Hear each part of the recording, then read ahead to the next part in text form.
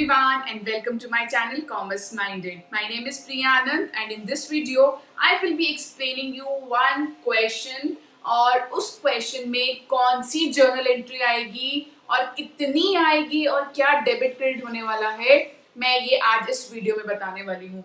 बहुत ही कंफ्यूजिंग है, ध्यान से सुनना और अगर सुनोगे तो अच्छे से समझ आएगी। लेट्स स्टार्ट क्वेश्चन कह रहा है goods costing 1000 damaged by fire इतने एक हज़ार के गुड्स डैमेज हो गए by fire and insurance company accepted claim of rupees eight hundred अब एक कंपनी के साथ क्या हुआ? कुछ उसके गुड्स थे वन थाउज़ेंड रुपीज़ के। वो खराब हो गए by fire and insurance company accept करती है बट कह रही है कि I will only claim rupees eight hundred out of rupees one thousand और उसके 800 में उसको चेक रिसीव हो गया फ्रॉम द इंश्योरेंस कंपनी तो सबसे पहले तो हम जर्नल एंट्री पास करेंगे damage of goods by fire कितने के डैमेज हुए?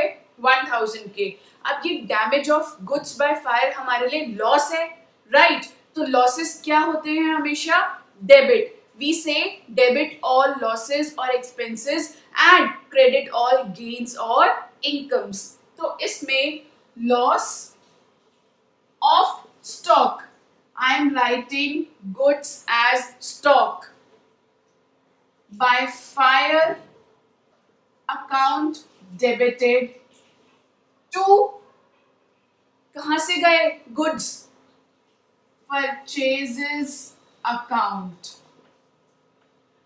first time जब हमने परचेज करे तो हमने क्या एंट्री पास की होगी? परचेजेस टू कैश और बैंक अकाउंट तो गुड्स कहाँ से, जो फायर से गए हैं गुड्स कहाँ से जाएँगे? परचेजेस अकाउंट से.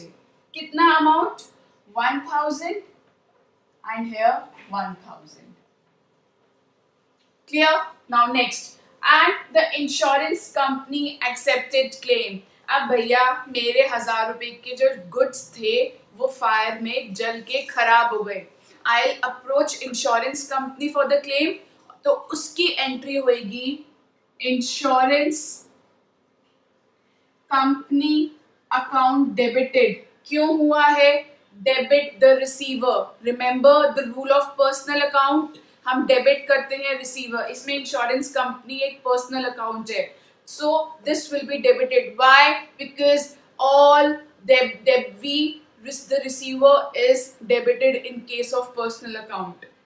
किसके लिए to loss of stock by fire account.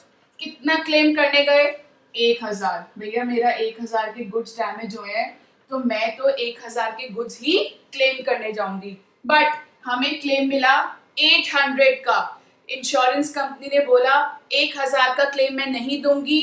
We will claim for rupees eight hundred so eight hundred मुझे मिल रहा है। इट मीन्स बैंक कैसे?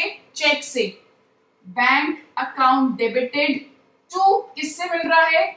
इंश्योरेंस कंपनी अकाउंट कितना बोला उसने? 800 का। बट एक्चुअली में मैंने कितना क्लेम किया था? वन थाउज़ेंड का। अब, ये जो डिफरेंस है टू हंड्रेड का, ये मेरे लिए हो गया लॉस और लॉसेस में क्या करूँगी? डेबिट तो यहाँ पे मेरा हो जाएगा loss of stock by fire और ब्रैकेट में लिख दूँगी पी एंड एल अकाउंट क्यों? क्योंकि मेरा दो सौ रुपए का मेरे से अपने अकाउंट से मेरे लिए लॉस हो गया. वाई बिकॉज़ थाउज़ेंड में से एट हंड्रेड रुपीज़ मुझे मिल गया. एंड 200 का कंपनी बेयर करेगी, जो कि मैं खुद बेयर करूँगी। So 200 will be the loss for me as will be return as P and L account in the bracket clear इस ट्रांजेक्शन की तीन एंट्रीज पास होएगी। नंबर वन क्या इतने गुड्स लॉस बाय फायर में गए? तो ये एंट्री पास हुई। उसके बाद I go to insurance company for the claim. तो insurance company account debited to loss of stock by fire account. Finally insurance company ने हमें कितना क्लेम दिया? उसकी एंट्री इस तरीके से पास होगी।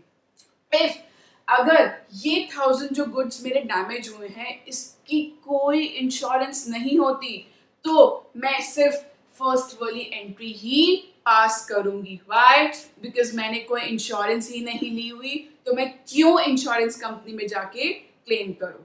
So that's all for this video. Thank you so much for watching my video. And guys do not forget to like share and subscribe to my channel. That is commerce minded.